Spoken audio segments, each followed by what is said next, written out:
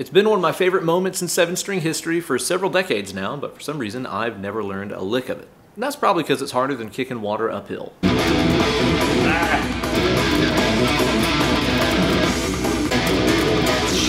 But on today's video, it's my solemn vow to put a dent in Acid Rain by Liquid Tension Experiment.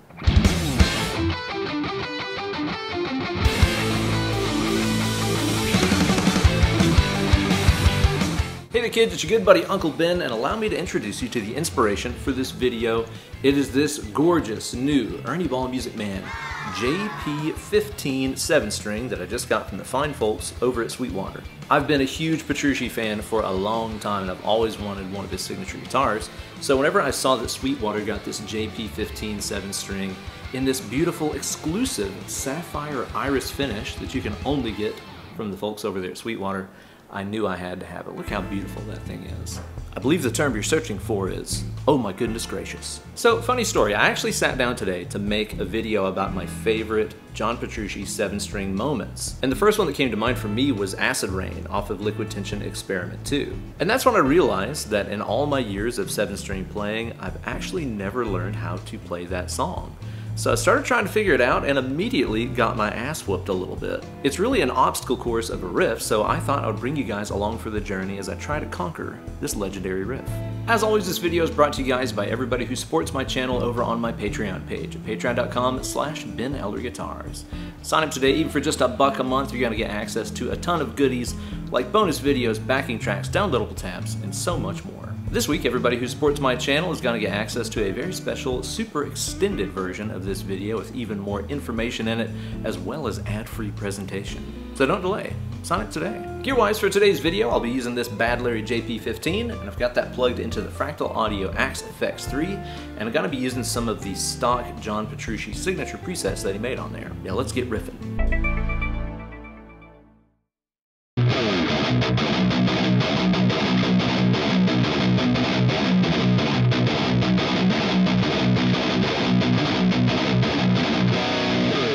So this tune is in the key of B minor. It is about 144 BPM according to the interwebs. And the main figure in it is this 16th note bass thing with all these open string pull-offs. Sounds kind of like this.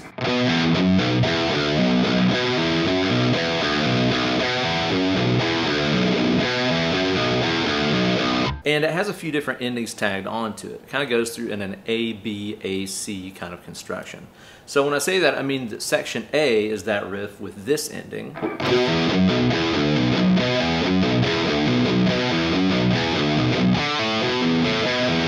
Section B has a little minor pentatonic run at the end of it.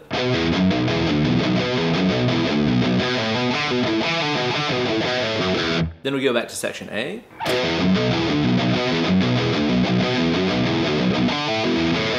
And then finally, the C section is how the doctor delivered the baby. oh, it's going back to that first lick, and then there's this crazy position shifting lick at the end of it.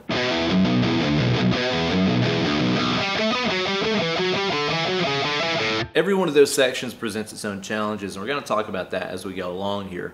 But first things first, let's talk about the main kind of meat of the riff, that open string pull-off thing.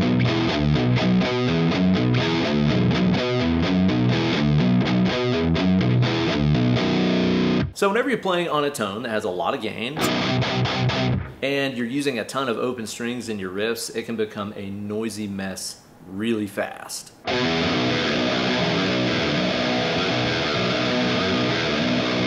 That there's noisier than two skeletons dancing on a tin roof, and we don't want that. So first things first, you gotta control the ring of those open strings. We're gonna do a little bit of palm muting back here at the back.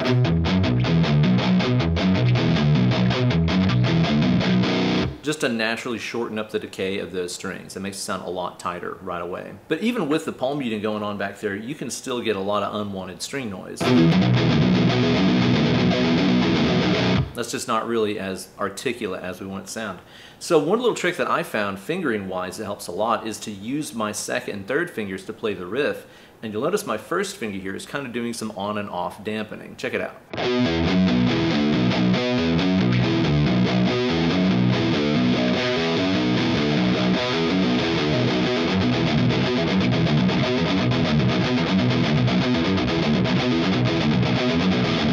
So it's a little hard to describe here, but essentially what's going on is every time my middle or ring finger frets the note, you'll notice my kind of straight first finger here comes down and kind of dampens behind the fretted note. You can really tell right there with the first two notes of the riff.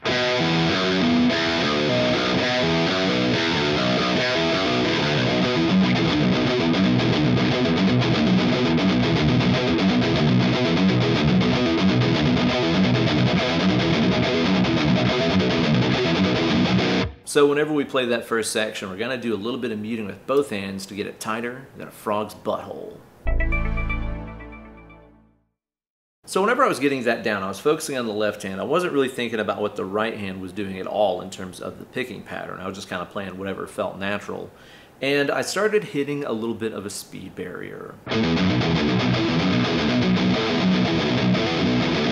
I just couldn't really get it sounding clean and really consistent with the picking pattern I was using. So I had to do a little bit of strategery over here and think about what the right hand was doing and what Petrucci was probably doing to make it sound really clean. So Petrucci is a true alternate picking genius. He's a Steve Morse maniac, which means he can alternate pick his way through anything. Check out the intro arpeggios of The Glass Prison if you doubt his alternate picking powers. It's pretty insane. So this riff has a combination of some picked notes and some legato in it, right? The strategy going on with the picking here kind of reflects that alternate picking backbone by using what I refer to as rhythm picking. Rhythm picking is something that I used to describe whenever a picking pattern isn't necessarily based on economy of motion, it's based on where the picked note is falling in the measure or in the subdivision of the beat. Now, whenever you're alternate picking 16th notes, as John frequently does, downstrokes end up happening on the downbeat and on the upbeat. So one and two and three and four and. And then the upstrokes end up falling in between the cracks on the E's and U's. One E and uh, two E and uh, and so on. So whenever you take a look at this first figure, and analyze where the pick strokes are falling in the beat, here's what you'll find. 1 E and uh, 2 E and uh, 3 4 and 1 and 2 and 3 and 4 and. So you have downs on 1 E and a for the first part of the riff, and then you have 2 E and a. So that segment right there is the real linchpin here. You'll notice it's a downstroke, then an upstroke, then another upstroke. 2 E and a. It has to end on that upstroke because upstrokes go on the E's and U's, right? One E and a, two E and. Uh, whenever you play it with that feel, it feels super rhythmic. Your hand kind of feels like it's always in motion and always in the groove which is what's essential, especially at the higher tempos that this riff gets up to. I did a process that I've done with other riffs in the past that have really complicated rhythmic patterns or pull-offs or whatever in the middle of them, and it works great. Check this out. Try playing this riff so that even when you do a pull-off, your pick hand is making a motion as though it's hitting the strings. That way it's always in movement and always in the groove. It looks something like this.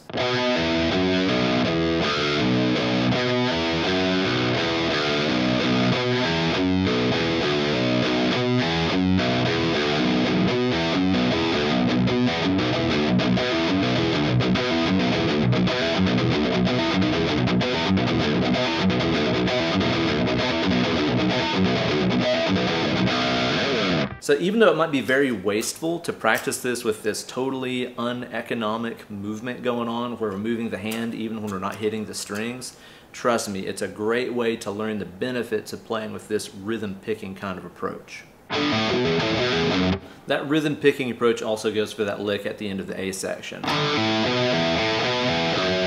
And you'll see a similar idea there. One E and uh, two E and uh the upstrokes thrown in at the end there to keep it in rhythm and in motion.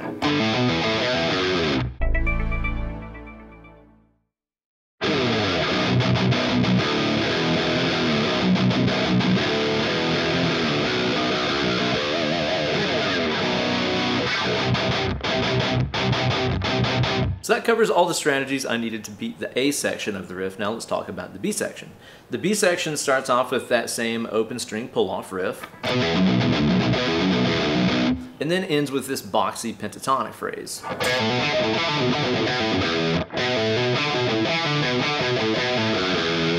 Again, there's a few pull-offs and stuff in there. That's a pretty standard issue, you know, first and third finger kind of run.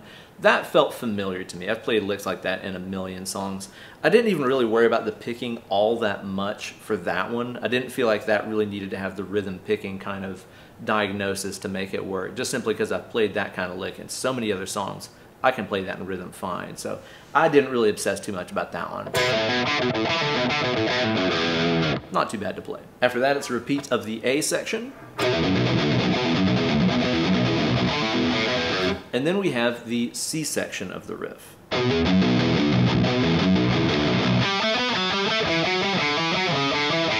Now I was having a hard time making that jump happen, jumping from that low B string to the D string in just the span of one 16th note is pretty damn quick and then you have to navigate the position shifts and everything too.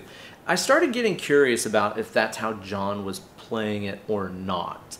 So I did a little bit of research. There's some great footage of Liquid Tension Experiment playing this in Los Angeles and you can watch them performing the song live. And if you watch really closely, whenever John plays that section, you'll notice, even though the camera is far away and not the best quality, that his hand jumps up the neck. You can see it's clearly not in the same position that the rest of the riff was. You can't tell what string it is, but you can tell it's higher up the neck. So after seeing him play it that way, I started trying to replay that last run like this instead, jumping up to the A string fret number 10 instead of the D string fret number 5. Same G note, different position.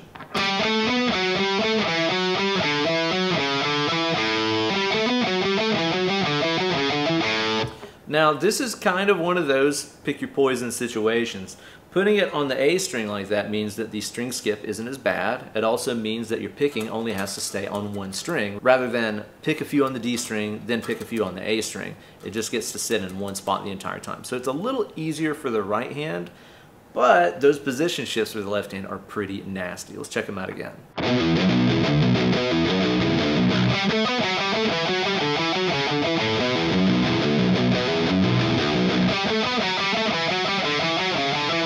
And again, that's happening at 16th notes around 144 BPM, so it's pretty damn quick. About faster than a scalded cat, if you follow my lingo. So the first challenge you face right there is getting up to the 10th position and making sure you're nailing that note in such a short time span. Because the only time you have to do it is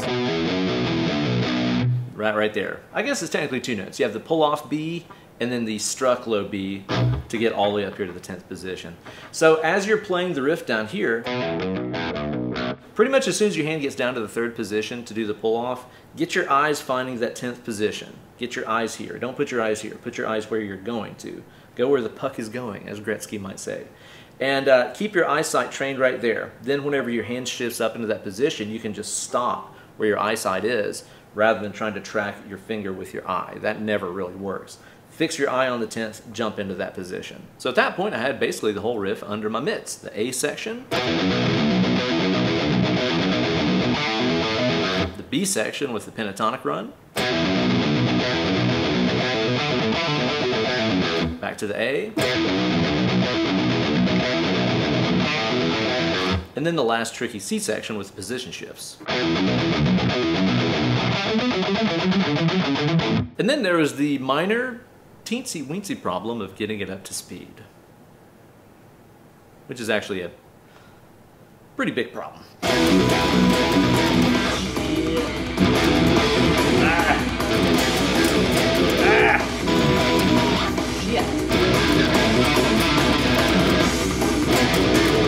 Shit! Men's asses. Ah! Yeah, that shit is harder than Chinese algebra, which is why we need our buddy, the metronome.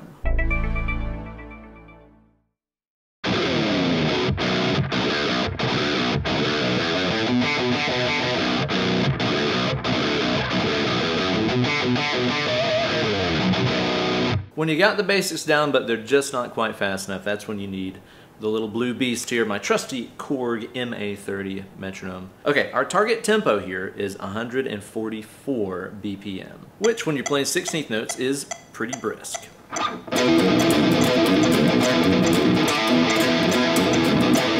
it falls apart really fast at those tempos.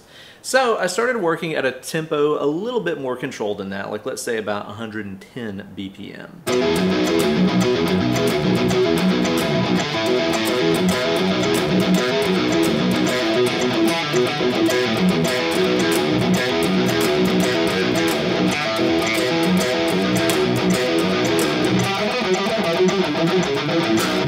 Still a struggle for sure.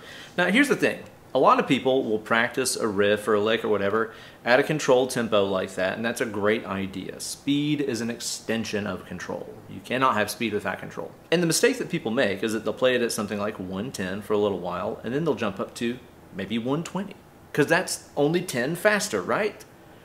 Not really. Here's what you got to think about, guys. Do a little math and magic with your buddy Uncle Ben here and give him some help because he was homeschooled and he's only got 10 fingers and toes. If I'm playing 16th notes at 100 BPM, right? That means that I'm playing four notes per beat 100 times in a minute. Last time I checked, that adds up to about 400 notes every minute going by. Now, if I take that exact same tempo and I crank it up by 10, right? It's only 10, that's not that many. Well, if I start playing 16th notes at 110 BPM, that means I'm playing 4 per beat 110 times a minute. If you do the math there, that means you're playing 440 notes per minute because we're playing 16th notes. Again, the metronome is only telling you you're going 10 faster.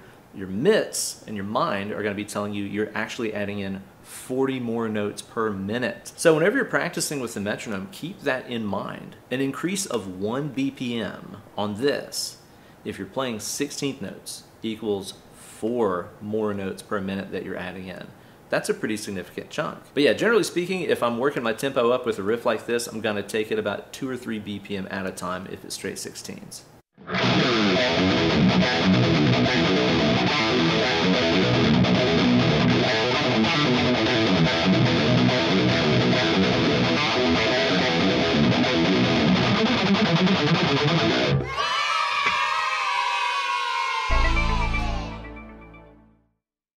You go, guys. We did it. We conquered the first 15 seconds of this song. Only about 6 minutes and 15 seconds left to go. Should be a pinch, right? We'll call it a work in progress for now, but I'm gonna enjoy working my way through the rest of the tune on this beautiful, lovely guitar. Let me know if you guys would like to see some more 7-string content here on the channel. I would love to utilize this amazing JP15 7-string from Ernie Ball Music Man and the fine folks over at Sweetwater, some Mo faux show. I love that Sweetwater does these exclusive runs like this. They work with companies like Fender, Ibanez, Ernie Ball Music Man, all kinds of different companies, and they do these Sweetwater exclusive runs that you can only get from them. So I'm always kind of keeping an eye out on the site, finding anything that might be something that I can only get from those fine folks over there. So I recommend you guys do the same. Also recommend you check out that Patreon page over at patreon.com slash Ben Eller Guitars. It's where you're going to get the tabs to go along with this and plus all the other goodies you need to lead a more better life. And I know you want to live more better, right? So be sure to check that out today. Patreon.com slash Ben Eller Guitars. Thanks so much for watching the video. Be sure to hit like and subscribe and ring the bell for notifications and all that other good stuff that helps tubers like me out. And be sure to tune in next time. We'll be getting into something else really nice and shreddy. Thank you guys so much for watching. I recommend getting out and enjoying some beautiful sunshine before you get away from the computer machine. Get that guitar in your hands and get to work. Let's click in. More picking.